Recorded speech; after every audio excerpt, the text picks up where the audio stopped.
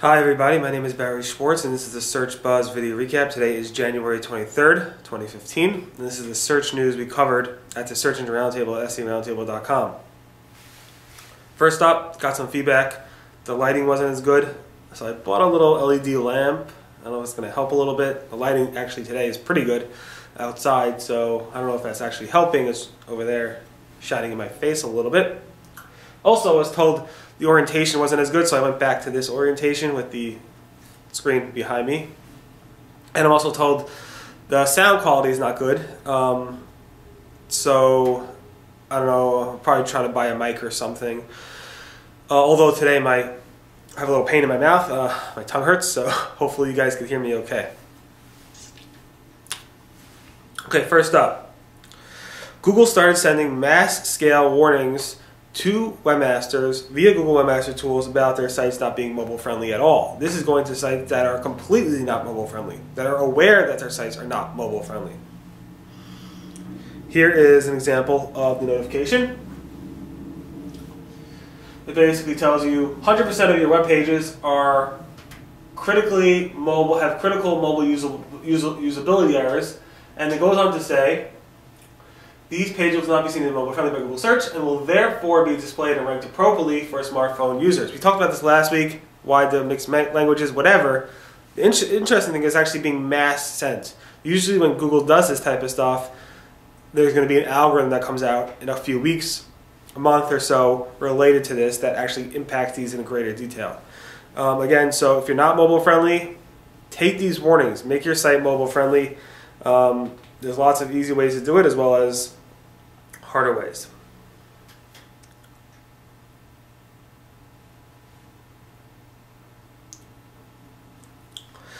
Okay, so next up, um,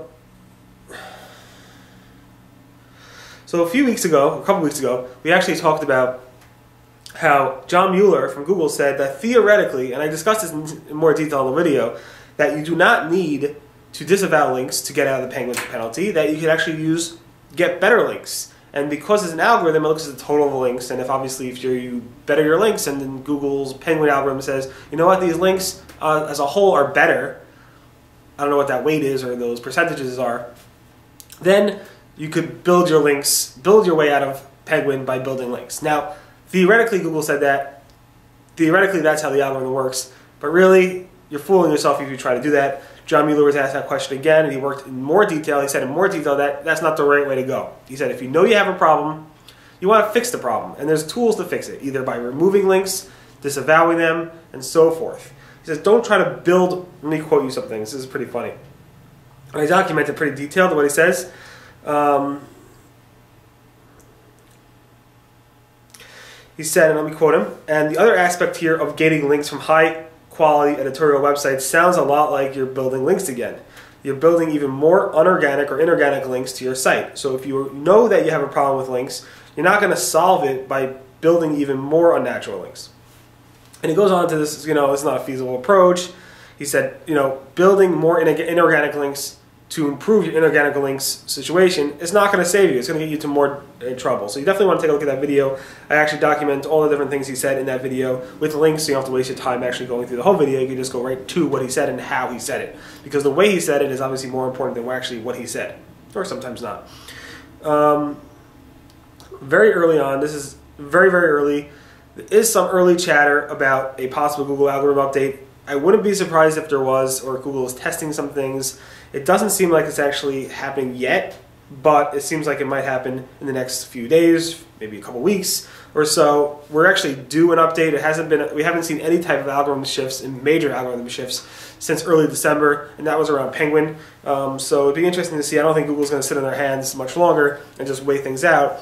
The holidays are well over, and I'm sure they're going to get back to work and push things through to see how they can improve their search quality over time. Um, this is interesting. So, as you know, back in, uh, I don't know, several months ago, Google announced that HTTPS, SSL, is now a small, tiny little ranking factor in the Google search results. So sites that have HTTPS throughout their website, those web pages will actually rank better in the search results, slightly better in the search results than somebody else. Um, it's a small ranking factor. So people tested it. I moved several this site over. I moved several other sites over. A lot of webmasters moved stuff over to HTTPS, and now they're like, hmm, well, actually, my rankings haven't changed. They're exactly the same. Well, that's probably because it's really a tiny ranking factor. And Google said that. Google will Google switch up the dial? I don't know. I'm not sure, but it's interesting because now people are saying, you know what? I tried it. It's causing more of a headache for me. It's causing more money. It's um, there's mismatch errors. It's just more time consuming for me to manage. I'm going to go ahead and move back to HTTP. It's not worth it anymore. I'm going to move back. And that's a trend where I'm seeing a little bit from webmasters that have switched to HTTPS. They're saying, you know what? It's too much of a headache. I'm switching back. I'm personally not going to switch back. I'm going to stay. I've already moved. It is what it is. Um, it doesn't hurt. I don't think. Um, I don't think it benefits necessarily, but it doesn't hurt. Um, so it's interesting to see people actually do that. It's a shame, obviously, in terms of Google's initiatives, but webmasters are, you know, doing what they can to go ahead and uh, make their lives a little bit easier around that. Okay, next up. So Google's news publishers are complaining about traffic declines. So this is probably related, I think, at least to the, in the news box, which launched um, back in October, um, and also launched globally back in November. So over the past few months, publishers is January now, so publishers are actually saying, you know, I'm noticing a decline in my traffic from Google search. What's going on? And the real reason is in the news box that launched back then.